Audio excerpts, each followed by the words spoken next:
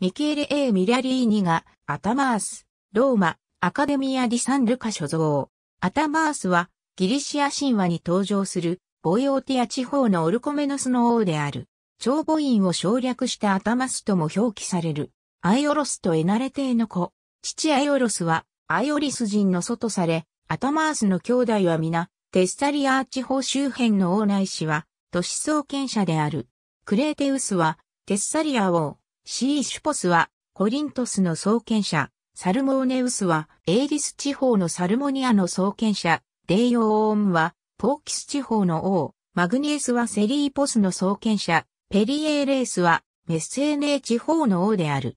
姉妹に、カナケー、アルキョーネー、ペイシディケー、カリュケー、ペリメーデー。最初の妻ネペレーとの子にプリクソス、ヘレー、二番目の妻イーノーとの子にレアルコス、メリケルテース、三番目の妻テミストーとの間に、レウコーン、エルトリオス、スコイネウス、プトース、スピンキオス、オルコメノス、ポルピリオンの子供たちがある。オルコメノスのアクロポリス。アタマースは、ヘーラーの命によってネペレーと結婚し、プリクソスとヘレーを設けた。しかしネペレーはアタマースを見下していたので、これに腹を立てていたアタマースは、カドモスとハルモニャーの娘イノを呼び寄せた。イーノは、ネペレーの子供たちに悪意を抱き、密かに土地の女たちに種麦を炙らせて作物が実らないように工作した。穀物が芽を出さないのを怪しんだアタマースは、デルポイの信託を仰ぐことにして、死者を送った。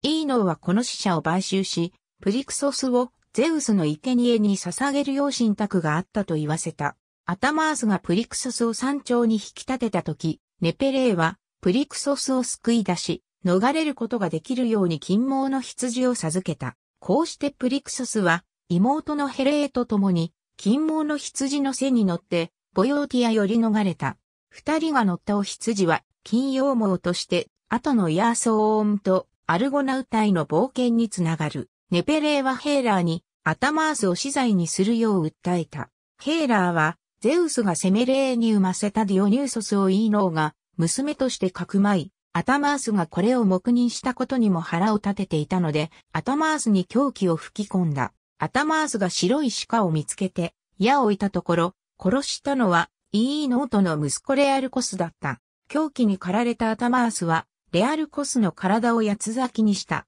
イーノーはもう一人の息子、メリケルテースを抱いて逃げたが、アタマースに追い詰められ、母子共に海に身を投げた。ゼウスはディオニューソスを育てた恩義に報いてイーノーを、女神レウコテアートし、メリケルテースは渡積みパライモンとなった。この事件によって、アタマースは、ボイオーティアから追放された。生きどころを失ったアタマースが信託を伺ったところ、野獣がお前を共応してくれる場所に住めというお告げがあった。アタマースが北に向かってさまよい歩くうち、荒野で狼の群れが羊の群れを貪り食っているところへ出くわした。狼たちはアタマースとその配下たちを見て逃げ、腹を空かせていたアタマースの配下は羊の肉を食べた。アタマースは信託に従ってこの地をアロスと呼び、都市を創建した。後のアタマニアである。アタマースはこの地でテミス島と結婚した。一説によるとプリクソスは美しい若者で、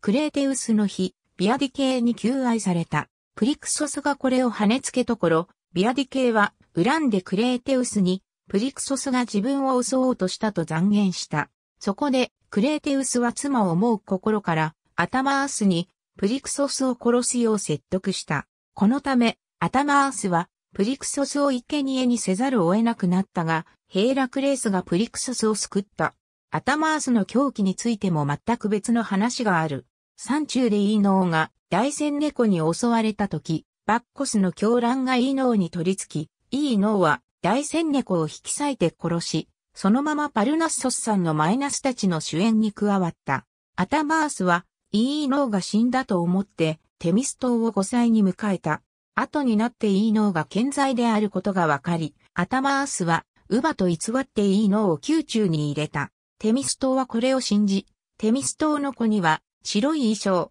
イーノーの子には喪服をつけさせるようイーノーに言いつけ、翌日護衛に命じて、喪服の子供を殺させようとした。しかし、イーノーは危険を察して、子供の服を取り替えていたので、殺されたのはテミストーの子だった。アタマースはこれによって乱心したのだという。ヘロドトスはアタマースが民の手で生贄にされるところをプリクソスの息子キュティッソーロスによって命を救われたとしている。ありがとうございます。